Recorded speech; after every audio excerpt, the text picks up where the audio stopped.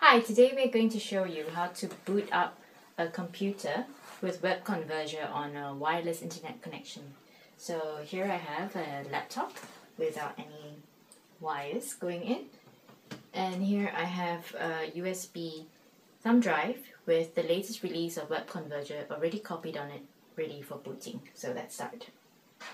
Stick it in and switch on the computer.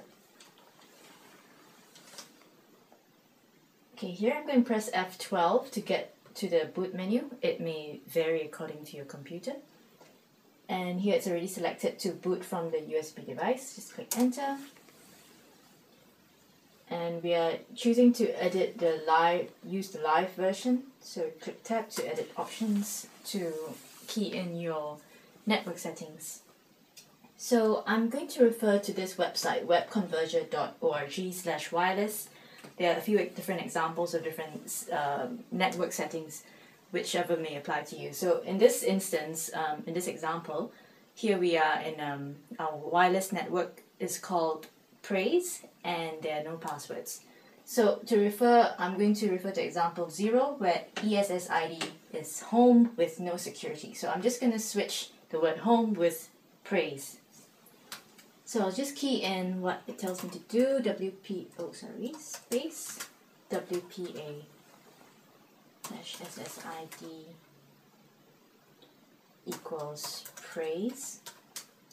Then the next parameter is WPA's dash key dash MGMT equals none be careful that none needs to be in capitals and let's just click enter and it should boot.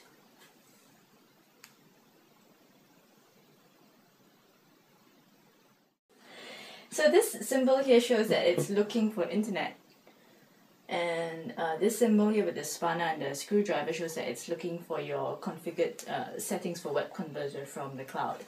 Um, in this instance, this computer has not had any uh, configuration settings, so it should just bring you to the default um, subscription page. Oh, here we have um, on this ThinkPad, there's this blinking wireless signal to show you that it's connected to online.